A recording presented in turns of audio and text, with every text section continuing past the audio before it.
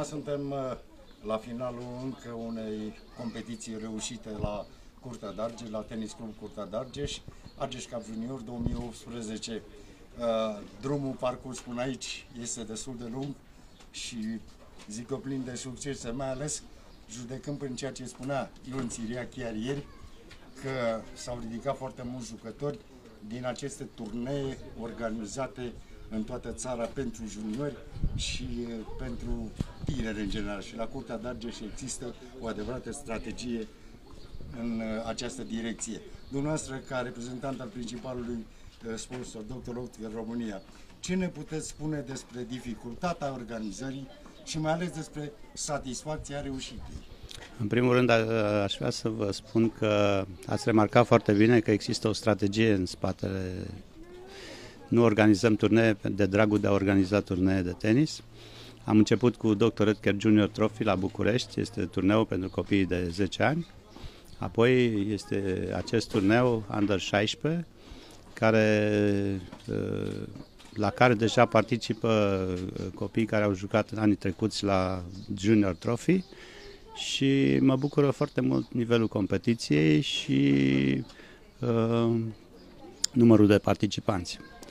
Uh, privitor la organizare, vreau să vă spun că noi avem o echipă foarte bună, deja știm exact ce avem de făcut și cu sprijinul sponsorilor noștri, cărora le mulțumesc încă o dată și să amintim aici uh, Consiliul Județean Argeș, Consiliul Local Argeș, uh, magazinele Anabela, Uh, Dr. Edgar, bineînțeles, uh, uh, cu sprijinul sponsorilor cărora le mulțumesc, am reușit să ajungem până aici. Bineînțeles, mai am și câțiva colegi care sunt implicați pe partea de logistică, pe partea de a asigura acea ospitalitate pe care știți că trebuie să o asigurăm, respectiv masa de amiază și seara. Deci e o întreagă echipă. Da. Le mulțumesc și lor pe această cale. La urmă, urmă e, practic, în ultimii 6-7 ani putem să spunem că acest oraș regal, primul oraș regal din România, da. a fost pus pe harta tenisului mondial.